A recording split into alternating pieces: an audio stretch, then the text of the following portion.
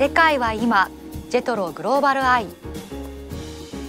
捨てられてしまうものからより価値の高いものを生むアップサイクルという考え方が注目されています。新たな製品開発を行い世界に挑もうとする食品企業の取り組みを紹介します。東京の新宿にできた最先端の商品やテクノロジーが体験できるシリコンバレー発のお店。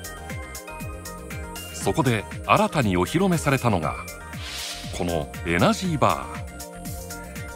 ー。原材料はビールを作った時に余るモルトカス。アップサイクルフードの、えっと、 beer grains と言います、えっと、こちらはあのビールカスをあの使ったあのエナジーバーになっています。持続可能な社会を目指す。そんな機運が世界的に高まる中注目されているのがアップサイクルという考え方。ただリサイクルをするのではなくより付加価値の高い製品を生み出そうという試みだ。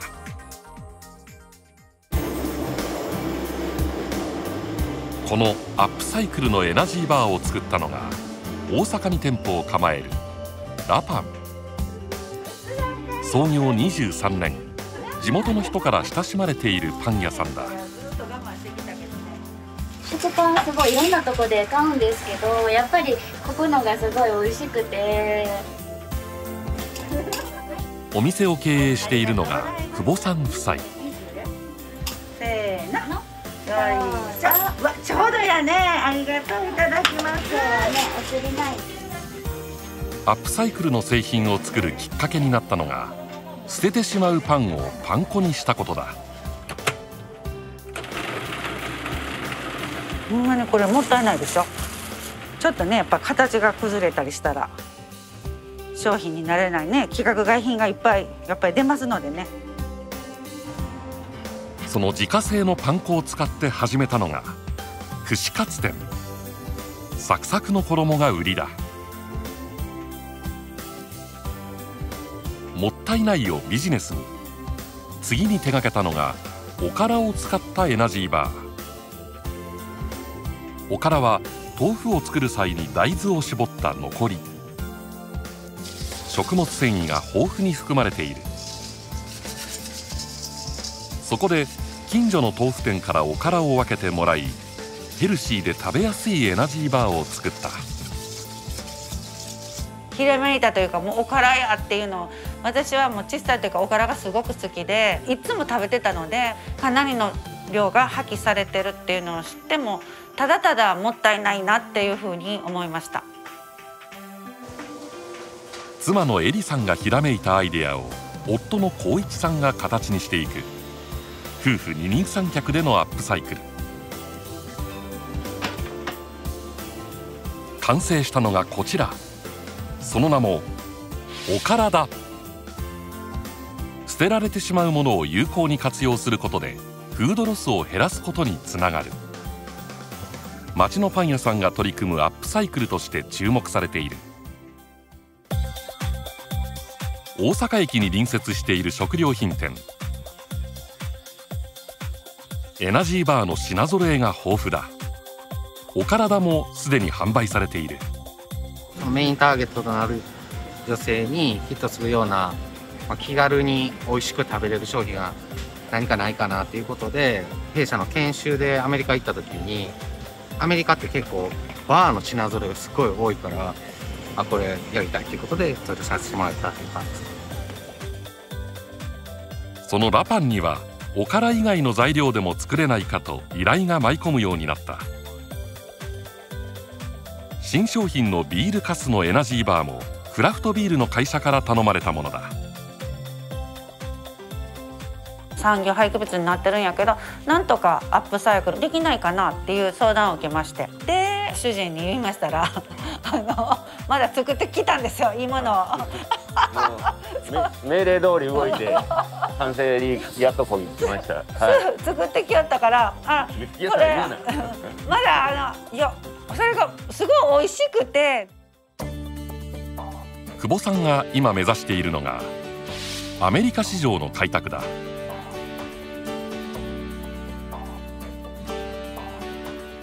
学生時代にはアメリカに留学した経験がある。社会人になっても仕事で行き来し最新のトレンドにアンテナを張ってきた。実はベーカリーを始めたのも海外を意識していたからだ。小さい時からほら私らの時代って「なるほどザワールドって言ってテレビがあってもう海外に憧れうわ素敵キラキラしてるっていつも思ってて海外に住むんやったら仕事いるからあんたあのパン屋になったらええでって言ってパン屋になったらあんたどこでも食べていけるやろって言ってほななるわ言って。そのアメリカでは食品のトレンドに変化が起きている。売られているものの多くに認証のマークが付けられている。認証機関が発行しているものもあれば商品説明として記載されているものもある。背景にあるのが消費者の意識の変化だ。何を使いどのように作っているのか気にする人が増えてきた。こちらのポテトチップスは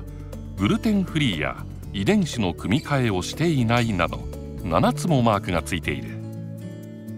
さらにアップサイクル食品の分野でも2019年に認証を行う協会が設立された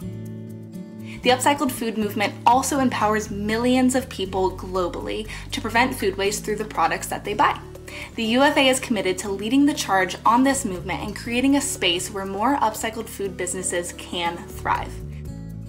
アメリカ市場の開拓を目指すラパンもすでにこの協会に加盟している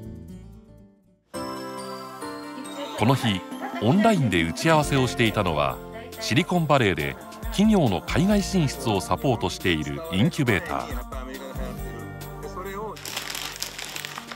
野菜をちょっとこう入れ入れたりしたら中身自体がパッケージみたいになって、うん、定期的にミーティングを行いアメリカ市場をどのように攻めるか議論を重ねてきたここはすでにあのこの野菜だけパッケージしてあのもう販売されてるんで。すでうちのあのビスケットビアビスケットを一緒に入れてするとこういう感じいい感じのグラノーラが完成するんで。す。すごいと。もういっぱいひらめきました。アメリカの方がもっともっとできるかなと。ビジネスを一緒に始めたきっかけはアメリカで行われたピッチのイベントラパンのプレゼンを聞きその取り組む姿勢に関心を持ったというこれはアメリカに展開しても売れるだろうなと思うのと久保さんご夫妻に興味を持ってるっていうのが正直なところなんですけど日々見えないところでいっぱい努力をされてる姿っていうところに惹かれたっていうのは正直なところですね。アメリカで僕らが経験しているものの情報と日本で相当やられてきたものの情報とミックスさせてさせてで新しいものを生み出すということさえやっていけば僕は意外とアメリカでも対応できるかな。社会課題の解決に取り組むことで周りの人を引き込みビジネスを拡大させていく。今この年になっても本当、まあ、自分たちの夢とかゴールとか目標としてもうはっきり今アメリカが見えてるのでもうこのエナジーバー日本を代表するお体っていうブランドでアメリカでチャレンジしたいなって思います。一方こちらにもアップサイクルで事業拡大を図るスタートアップがある。東京の下町浅草の近くに去年できた蒸留所。世界初の再生型蒸留所っていうところで廃棄可能性のある素材っていうのを原料としてジンを中心とするスピリッツを作っている会社です。アップサイクルしているのが酒粕やコロナ禍で行き場を失った生ビール。それを蒸留し原料となるアルコールを抽出する。さらにジンの味付けに使っているのがチョコレートを作る際に出るカカオの皮やコーヒーの出し殻だ。高品質なジンに仕上げることで世界的にも高い評価を得てきた。去年はその世界二大コンペティションの中で両方その日本では最高賞っていうのを頂いており。その山本社長が目指しているのがインパクトの大きい商品作りだ。多くの人に支持されるものを提供しビジネスを拡大させたいと話す企業単位としては、まあ、大手種類メーカーさん。それを売り上げで抜くっていうのは必然的にやりたいことになります。というのはそれが指示の、まあ、現れだからですね。本当に支持されてるんであれば、まあ、売上1兆2兆まあ5兆10兆というふうになっていくはずなので。今力を入れているのが海外販路を築くための土台作りだ。積極的に海外で行われる展示会に参加し取引先の選定を進めている。売上の、まあ、できれば90%以上っていうのは輸出であったりとか、まあ、海外で上げていく。場合によってはまあ海外生産等も含めて今後検討していってあのもっと普遍的に価値を伝えていきたいなというふうに思います。アップサイクルという新たな価値をビジネスに生かし世界に挑む企業の取り組みが続いている。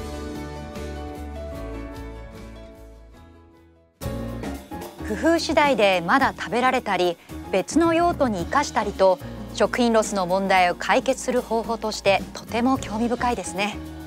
こうした取り組みが他の食品の輸出にもつながっていけばと思います。